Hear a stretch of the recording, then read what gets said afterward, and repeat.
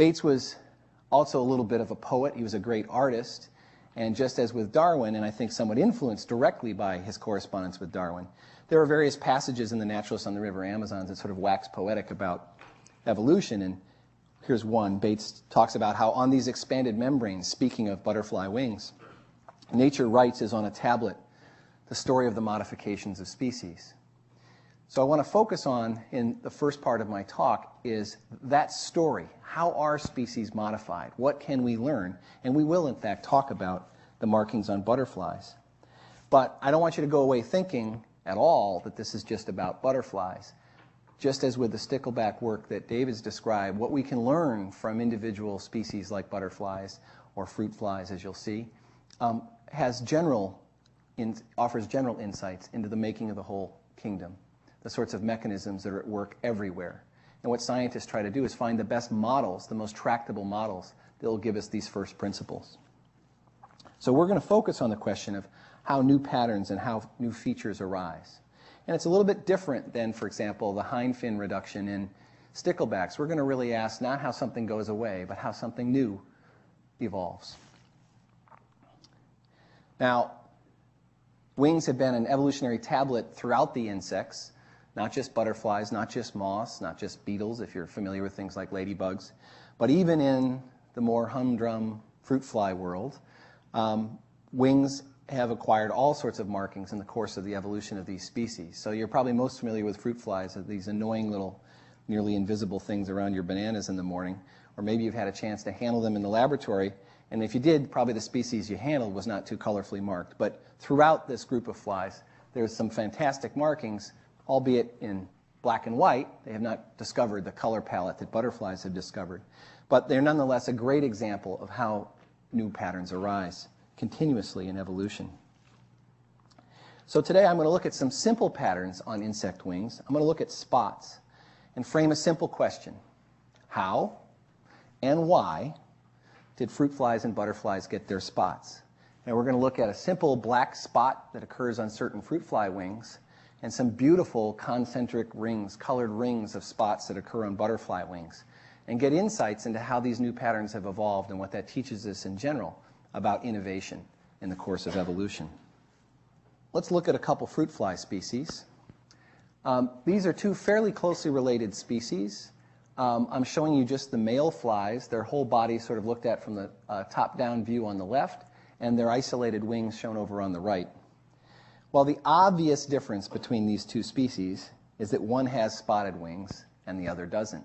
In fact, you'd be pretty hard pressed if you could examine the rest of the body of these flies to find almost any other difference. So there's this very pronounced difference. And these are the males of the species, and only the males of the species, the bottom species here called Drosophila biarmipes, only the males have these wing spots. So before I get at the how, let's get at the why, and that's shown in the next short video. Look at the top at the fly with the spots. And that's a little dance that he does in front of the female while he's pursuing her in courtship. So, species that have these spots at the edges of their wings engage in this courtship display. Now, courtship display is really directly connected, of course, to the process of mating and passing genes on to the next generation. So, courtship display is a form of what's called sexual selection a term coined and described by Darwin at length in his 1871 book, Descent of Man. So again, not just coral reefs, not just descent with modification, not just natural selection, sexual selection as well. And because sexual selection is operating at that moment of mating, or leading up to mating, it's one of the most powerful forms of selection that goes on within species. Pigmented wings have evolved many times, and this is the, just the isolated wing of another Drosophila species called Drosophila tristis. And uh, we'll see in the, in the next video that the idea is the same in terms of a courtship dance, it's just the steps are a little bit different.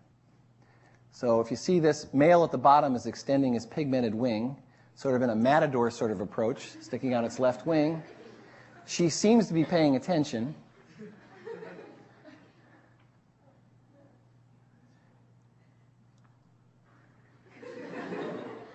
She maybe was not as impressed as she should have been. Hey, hey, hey. Now, I know you're all laughing, but you know, I, I have uh, teenagers, and I've been to some of your dances. And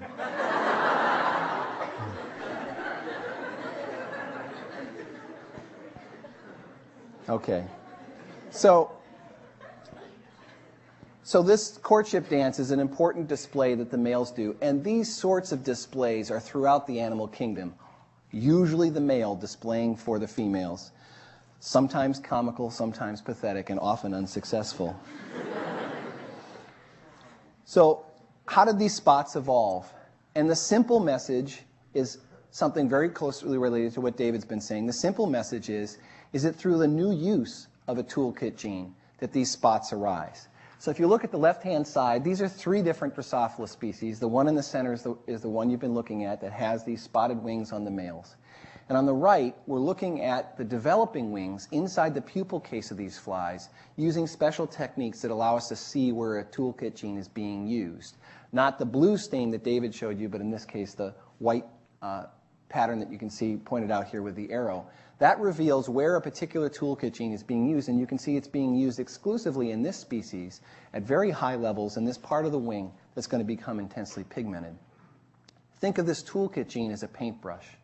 And what this means is that there are genetic instructions in this species that instruct this paintbrush to be used in a part of the body that is not being used in other species. That's the novelty. That's the key change between these species, the spotted and the unspotted species. Now let me just go to the colorful version of the same story. These are East Af- this is an East African species of butterfly. Now the spots in this species are being used for a different reason. These spots are not being used to attract mates or to impress mates.